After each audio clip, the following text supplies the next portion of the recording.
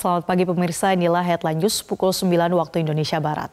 Hari ini pasangan bakal calon presiden dan wakil presiden dari koalisi PDIP, Ganjar Pranowo dan Mahfud MD melaksanakan serangkaian tes kesehatan di RSPAD Gatot Subroto, Jakarta. Tes kesehatan ini wajib dilakukan pasangan bakal calon presiden dan wakil presiden sebagai salah satu persyaratan pendaftaran sampai penetapan calon. Hasil tes kesehatan jasmani yang dikeluarkan RSPAD Gatot Subroto akan menjadi bahan pertimbangan bagi KPU apakah pasangan calon mampu melakukan kegiatan fisik sehari-hari tanpa hambatan dan tidak memiliki penyakit yang diperkirakan akan mengakibatkan kehilangan fungsi fisik dalam lima tahun ke depan.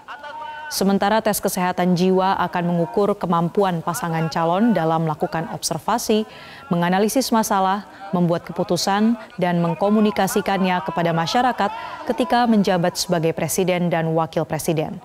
KPU menunjuk Rumah Sakit Pusat Angkatan Darat sebagai lokasi dan penyelenggara tunggal tes kesehatan ini.